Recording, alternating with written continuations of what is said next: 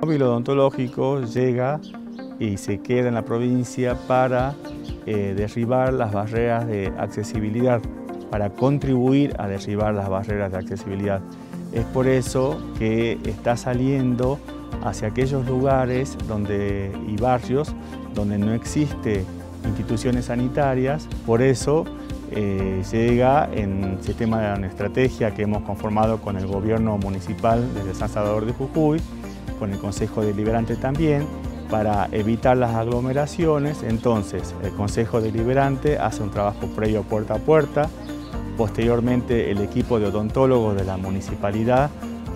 hace un trabajo de diagnóstico en toda la comunidad y ahí se cita en forma programada a los vecinos durante dos semanas que estamos trabajando. Para poder trabajar y garantizar las normas de atención en contexto pandémico, es fundamental eh, que espere en su casa, eh, va a llegar de puerta a puerta para avisarle qué día va a estar el móvil odontológico,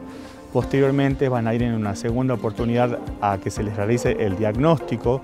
El móvil funciona de 8 a 17.30 horas, eh, de lunes a viernes, en distintos barrios.